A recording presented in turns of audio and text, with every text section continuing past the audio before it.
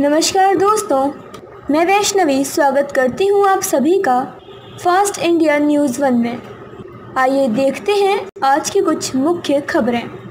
आजमगढ़ त्रिस्तरीय पंचायत चुनाव के नामांकन के दूसरे दिन समाजवादी पार्टी के अधिकृत प्रत्याशी सपा अल्पसंख्यक प्रकोष्ठ निवर्तमान जिलाध्यक्ष हकीम बेग ने जाफरपुर से जिला पंचायत सदस्य के लिए कलेक्ट्रेट पहुंचकर गुरुवार को नामांकन पत्र रिटर्निंग ऑफिसर के समक्ष दाखिल किया।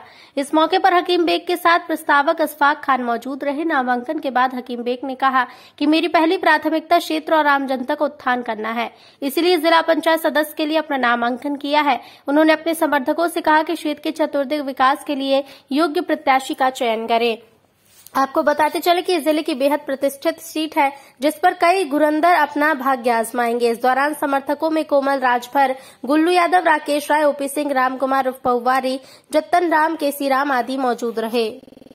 आज के लिए बस इतना ही। कल फिर होगी आपसे मुलाकात। ऐसे ही कुछ खास और बड़ी खबरों के साथ। तब तक के लिए देखते रहिए फास्ट इंडिया न्यूज़ वन